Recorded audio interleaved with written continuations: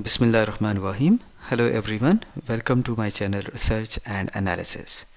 My name is Dr. Kamran. Today I was thinking about the topic on which I should make a video. Uh, then I gone through uh, the YouTube recommendation and there was a topic how to find journal name in research paper. So then I made my mind that this topic may be uh, interesting for those people who have just started their research journey and they might be feeling difficulty in finding journal name in research papers. So this is what I'm going to cover in this video.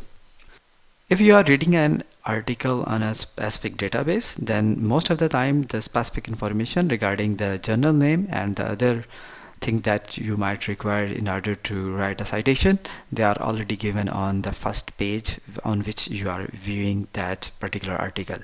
For example this is the article. Here you can see the title you know author names the journal and also the abstract. You can also find the information. Just just, just scroll down. You will see the keywords and after that the citation so if you want to use this article for your literature review and you want to add the citation so here is the complete citation which you can just co simply copy and paste over there. But the real problem is when you have the PDFs then it is a bit challenging to find out the journal name and the other related information.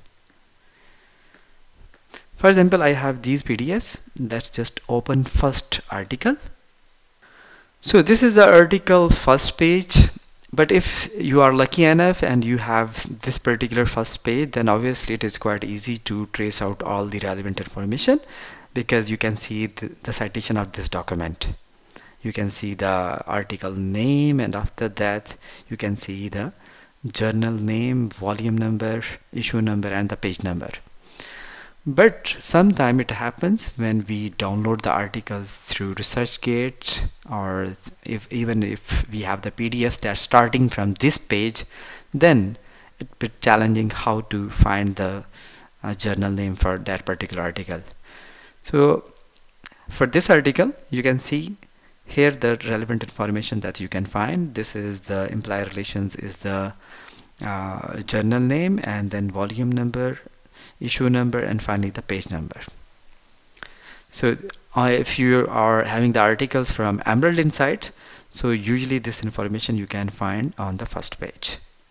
Now let's just open another article which is listed in a different database. So on this uh, article you can see this is the title these are the authors and here is the journal name. This is the year of publication volume number issue number and finally the uh, page numbers. So this information you can use for your citation.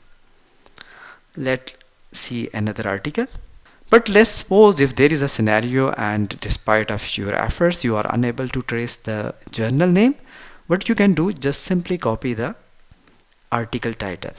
Just open this website of Google Scholar and simply paste that article name over here and then simply search. See Google Scholar will take you to that particular article. If there are more than one article that the Google Scholar is showing, what you can do is just simply write the title of that article in the inverted commas. So this is the best technique that you can use to reach to the, that specific journal that you are looking for. And here you can see the all the details and you can also just copy this particular complete citation. Just going through this cite option and here you can see all the references style. I hope this video will be helpful. Thanks for watching